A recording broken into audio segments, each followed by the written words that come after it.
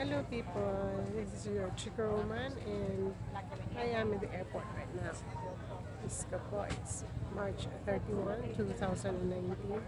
So, may namimit akong bago ano, mga friends. Uh, galing sila ng Barcelona, Spain. Punta sila muna ng ano, punta sila ng ah, Palawan. Sa El Nido muna sila dadaan. Ako, ipupunta ako ng Iloilo ngayon. Pag-gusto ko po medyo delayed, delayed na yung aming ano, boarding. Kasi 1.31 na eh. Actually, 1.33 na. Dapat eh kanina pa mga 30 na mag-board. MA717, Hirap.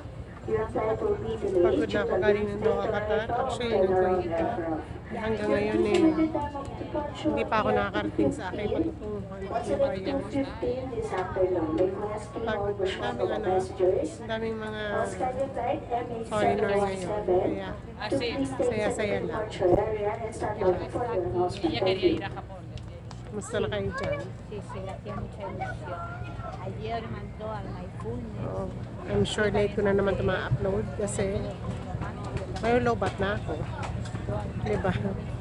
Saya-saya.